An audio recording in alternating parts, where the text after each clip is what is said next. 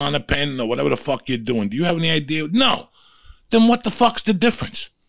Take a chance Columbus did. You know what I'm saying? Every time you do a line of coke, when you do a line of fucking coke, you might have a heart attack. Right or wrong, when you fucking do a line of speed, you you know.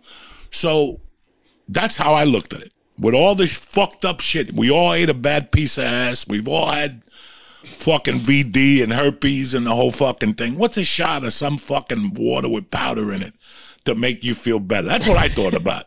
That's what I was Yeah. thinking about. With all the fucking drugs I did, I'm gonna sit here and fucking talk shit about a vaccine.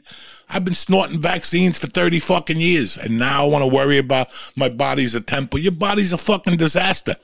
Your body's a fucking disaster. You eat potato chips, you eat nachos from fucking Doritos, you eat McDonald's, and you're worried about a fucking vaccine, you cocksucker. So, sorry about that. I got a little fucking caught up there.